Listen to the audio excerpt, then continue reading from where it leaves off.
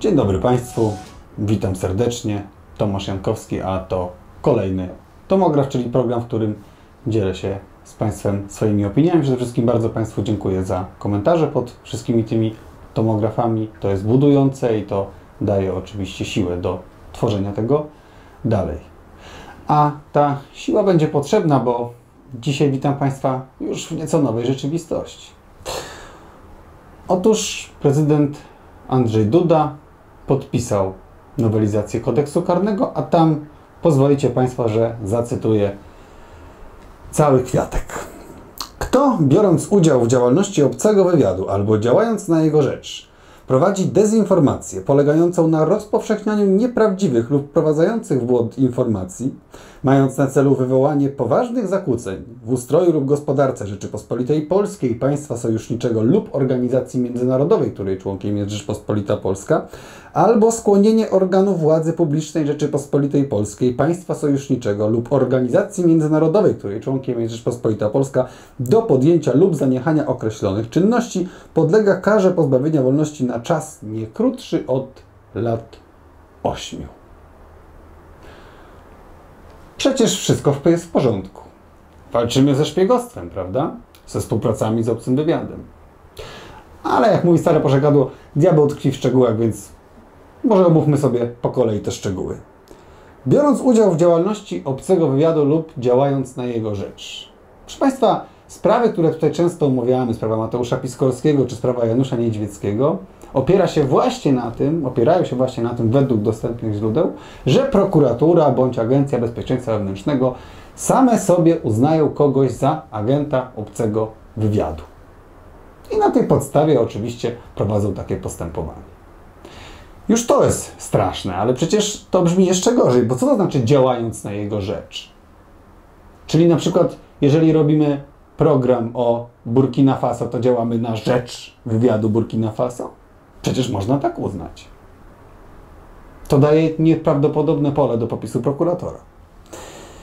Dezinformacja. A cóż to jest dezinformacja? Czy to są może te artykuły polskojęzycznych mediów, które tu Państwa dla tydzień, co tydzień dla Państwa tutaj weryfikujemy? Czy to jest dezinformacja? Czy może dezinformacją będzie to, co akurat sobie uzna prokurator działający pod wpływem aktualnej czy następnej władzy? To znów pole do popisu. Nieprawdziwych lub wprowadzających w błąd, proszę Państwa, lub wprowadzających w błąd, a więc penalizowana może być też informacja prawdziwa. Wystarczy, że prokurator uzna, że wprowadza ona w błąd. A co znaczy wprowadzać w błąd? Na przykład można kogoś wprowadzić w błąd, jeśli chodzi o jego opinię na temat jakiejkolwiek sprawy, prawda?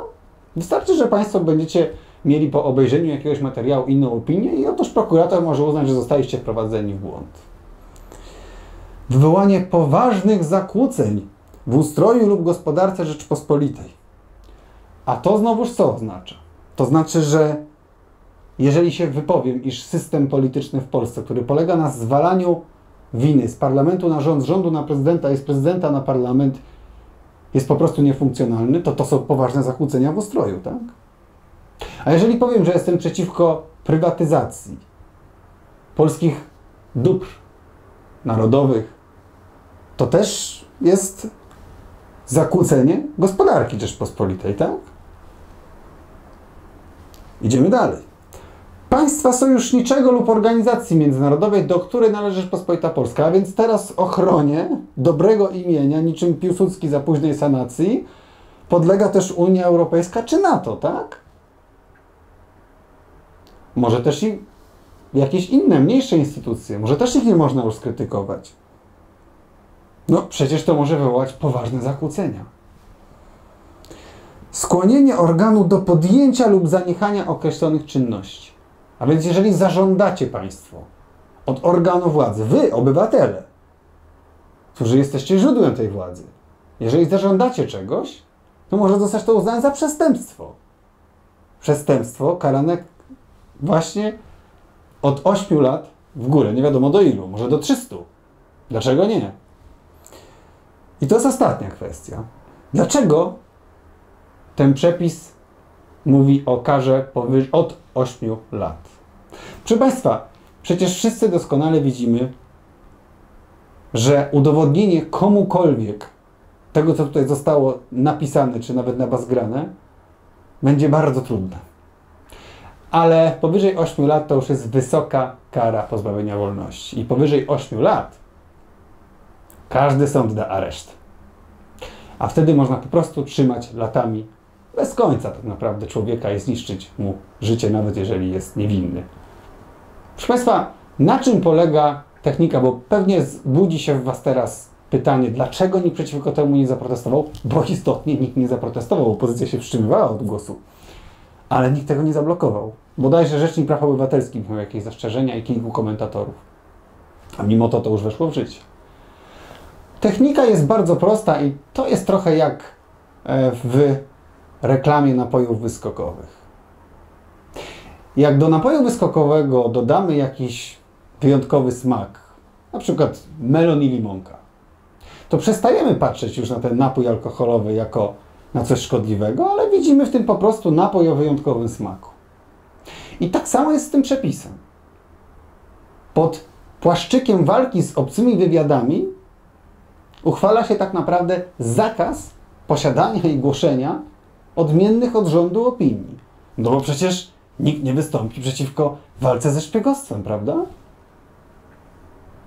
Zostawiam to Państwu pod rozwagę, w jakiej sytuacji się teraz znaleźliśmy my, wszyscy my, którzy myślimy niezależnie. To tyle, jeśli chodzi o dzisiejszy Tomogra. Żegna się z Państwem Tomasz Jankowski. Zapraszam do subskrybowania naszego kanału, do polubiania nas na TikToku, na Facebooku, na Telegramie i do oglądania kolejnych naszych materiałów. Do widzenia.